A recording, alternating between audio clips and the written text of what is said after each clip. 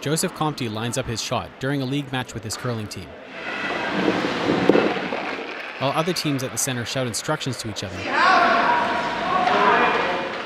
he and his team are silent. This is because Joseph and his team are deaf. He makes sure to always maintain eye contact with his teammates and relies heavily on ASL and hand gestures to communicate instructions to them. Joseph has had to adapt the game to meet his needs, but he and his teammates make it work.